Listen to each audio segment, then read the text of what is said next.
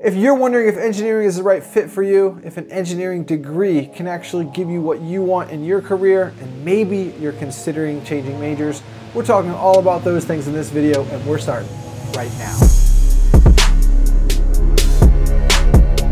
Hey 1% Nation, I'm Jake Voorhees and you are watching the 1% Engineer Show where we empower young engineers to rise to the top 1% of their career. If you want to be a successful engineer, start now by subscribing and hitting the bell so you don't miss anything. I got an awesome question for an existing civil engineering student today from my alma mater, the University of Delaware, so big ups to the Blue Hens out there. And the question goes like this. Hey Jake, I've come across a dilemma during my undergraduate studies. I'm currently a civil engineering major and I'm debating whether or not this is something I'm I'm actually interested in. I've always wanted to be in the business side of things rather than the technical side of the career. I personally can relate to that. What would be best to switch it up to a business degree halfway through my college career or continue engineering and possibly pursue a master's in business? In the comments below, let me know if you're somebody who has this mix of engineering brain and business people person type personality. So in this video, I'm gonna give this student and all of you 1% Nation my five reasons why it's worth sticking with it this is a great question. I love this because I can literally relate on a personal note for the first three, four semesters in engineering, civil engineering at UD. Yes, we went to the same school, so this is just a perfect question for me to respond to.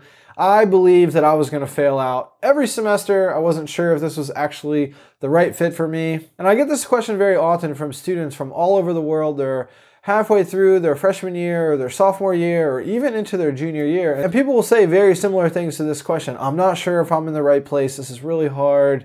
I just don't know if I'm passionate about this stuff. And they question it. It's tough. It's impossible to know. Before I gave some advice, I wanted some more details. I asked how far along the student was and what types of courses they've taken. And he says that he's halfway through his sophomore year, so three full semesters in. He's already taken Calc 1, 2, and 3, which are some of the harder classes, has taken physics, has taken computer science, which these are all the snag courses for civil engineers. These are the hard ones. These are the weeder courses that may make you switch to business or something else. The only true remaining challenging courses our dynamics and fluid mechanics isn't easy. Fortunately, at Delaware, for civil engineering, we don't have to take thermodynamics, which I believe is one of the most challenging engineering courses out there. So with that being said, you guys know all the details now. I gave this student five reasons why I believe it's worth getting that engineering degree and staying the course and hitting those goals and just grinding this out because it's going to be worth it. So let's jump right into the five reasons why you should stick with it in this situation. Number one is a skill set fit. The student was good enough at math and science and physics type things to survive Calc 2. I had to actually retake Calc 2. I got a D in it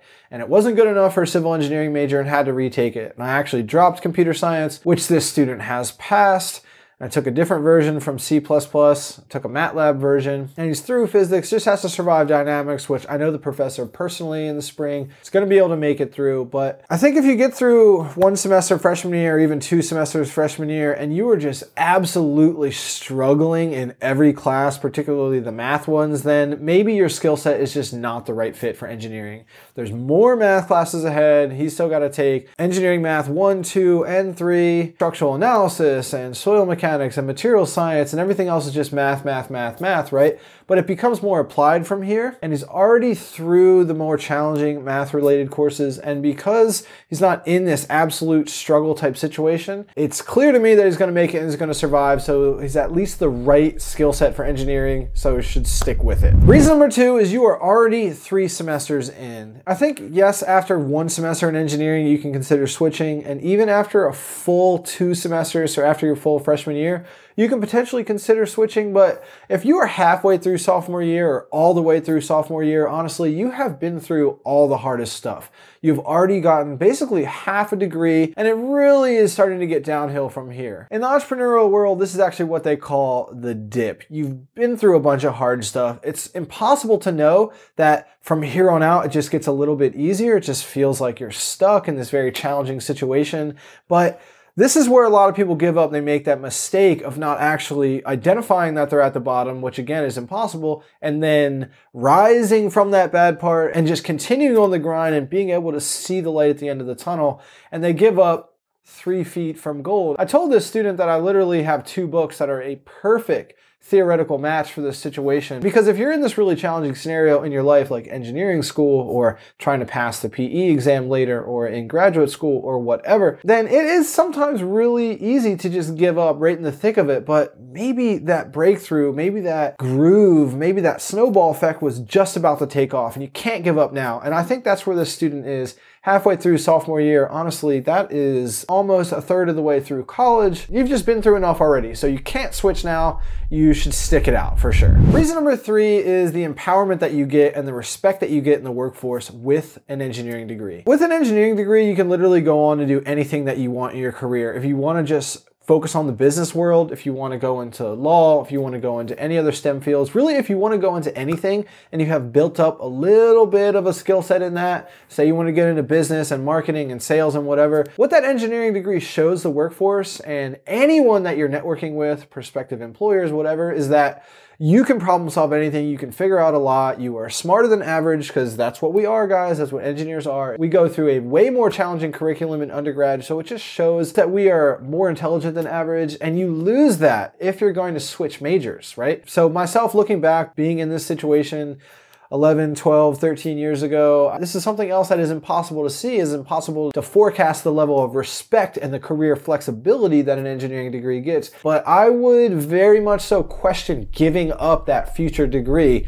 for something else like business. Reason number four not to switch and to stick it out to engineering is that if you go from being a social, extroverted, kind of standout individual within engineering, which is what this student considers himself, because you don't think about a career on the business side of engineering unless you have the communication communication and those interpersonal skills. But if you take that skill set in engineering, which is special and more rare. And then you you put that extrovert, you put that social, charismatic, communicator type person in a business world, you no longer stand out. You're in what they call a red ocean. There's blood in the water. There's all these sharks, and it's way more competitive than finding that unique place, finding your blue ocean. And that's fortunately what social engineers extroverts, communicators, interpersonal engineers, that's what we have. I consider myself in this category. We're more unique. We're actually standoutish, right? It's more challenging to find people who want to lead a team and present a project and go out and meet with clients and talk at the boardroom. This stuff is a little bit more rare. So again, you lose that advantage if you give that up and you switch over to business.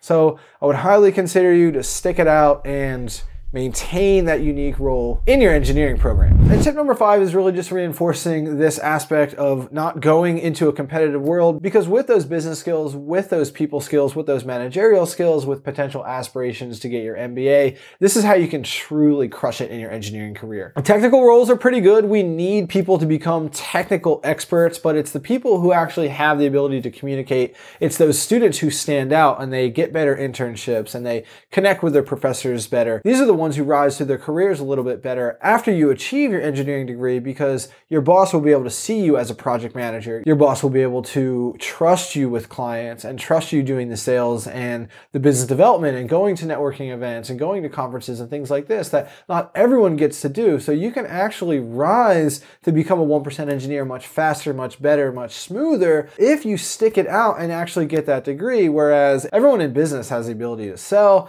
everyone in business has the ability to talk to people and relate and connect to others. But again, you're going to lose that if you give up that engineering degree. And this is something that's just impossible to see as a student. You don't understand the uniqueness that you have. If you can actually make it through these courses and you can survive that dip and you can make it to the end, you're going to have a much better engineering career because of the personality that you have. I've inspected all the bosses I've ever had, and most of them have MBAs because they have this bridge between engineering and business. So, those are my five reasons why I believe someone in this situation who's good enough at the math and science, but still an extrovert, still a people person, and potentially wants to be on the business side of engineering should stick with it and actually stay the course and just believe that they have what it takes to make it to the end. I really do think that people in these situations should stick it out and just continue on to their journey to get that degree. If you want to be a successful engineer, start now by subscribing and hitting the bell so you don't miss anything. If this video helped you guys, make sure you leave a like, make sure you leave a comment. As you can see, sometimes I make videos specifically for people's questions. So if you have one, make sure you leave it in the comments. In the description below, you can also find a link to the Facebook group and the 1% Engineer Kit, which is five ebooks. Check out another video, guys. I actually have a whole bunch about this topic, if this is the right fit for you, if all this hard work is worth it, because I think it is. I cannot believe we're almost to 100. I have so many videos so you can crush it and win. And as always, thanks for watching the 1% Engineer Show, guys, and stay hungry on your quest to become a 1% engineer. Cheers!